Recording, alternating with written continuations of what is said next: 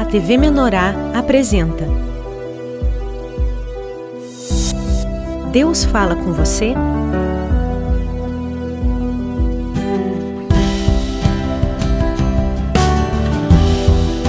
Um programa com mensagens contidas no devocional Mesa dos Pães, para sua edificação e reflexão de vida.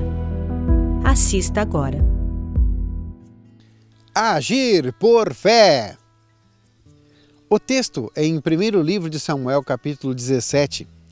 Relata a ocasião em que Davi venceu o gigante Golias. Este gigante há muito tempo afrontava os israelitas, intimidando-os de tal maneira que nem os melhores guerreiros ousavam enfrentá-lo. Deus usou o jovem Davi, franzino e sem idade para guerrear, que não só enfrentou como derrotou o gigante. Quando Davi foi até Golias, seus irmãos resistiram e zombaram de sua atitude. O rei também o menosprezou e considerou insana sua atitude, tentando alertá-lo sobre o tamanho e a força do gigante. Davi não contou com o apoio dos familiares e das autoridades, porque agia por fé.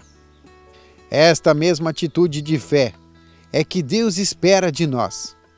Precisamos ser fortes e corajosos para crer em Deus e fazer Sua vontade.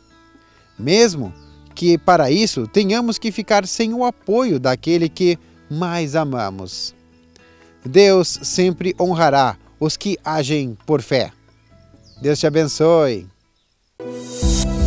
Deus fala com você?